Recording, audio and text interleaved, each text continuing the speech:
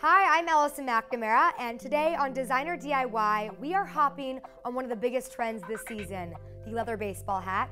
We saw this on runways at Alexander Wang and DKNY, and today you can make your very own at home. So here's what you'll need. Two feet of faux leather or real leather, one structured black baseball hat, leather glue, and a Sharpie and pieces of paper. So now what I'm gonna do is create my stencils. What you need is your Sharpie and your piece of paper. And one thing to keep in mind is that they don't have to be perfect. You just want a kind of idea of how big you need to cut your leather. All right, so here's my first stencil. As you can see, I traced a bunch of different times. It's not perfect. And then before we move on making the other stencils, let's cut this one out. All right, so now we're going on to our second stencil, and I'm going to create the stencil for the top front portion of our baseball hat.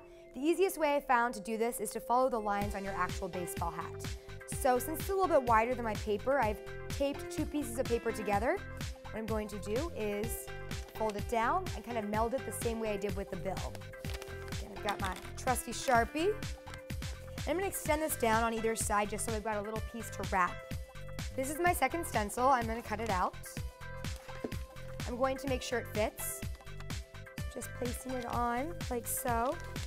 Now see what I've noticed is I've got a lot of excess over here, so I'm gonna trim this so I don't waste my leather. Now it's time to create the third and final stencil.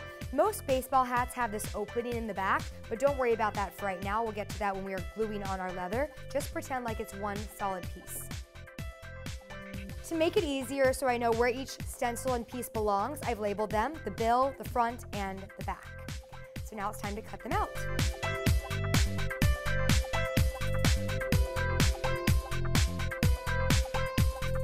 It's now time to start gluing on our leather pieces, starting with the very back piece. One thing you should make sure of before you start gluing is that it covers the entire surface area of the hat, which it should because we created those lovely stencils. So I'm gonna glue literally down this line.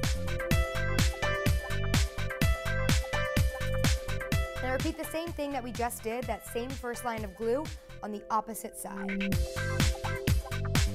Now we're gonna move on and glue both sides on the bottom.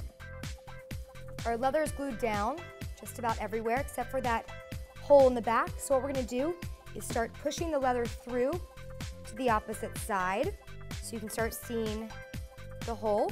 Then we're gonna take our scissors and gracefully start cutting up towards the hole.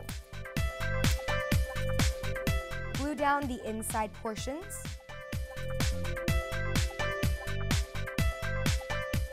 Moving on to the second stencil, we're gonna go with the front panel, and I'm gonna take this and do the exact same thing. So fit it first, and then glue it on.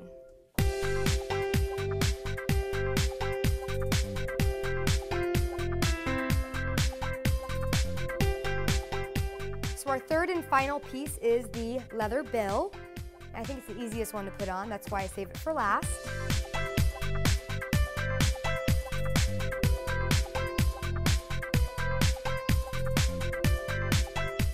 I'm finally done with my leather baseball hat, and as you can see, you now have one that you can enjoy for a fraction of the price.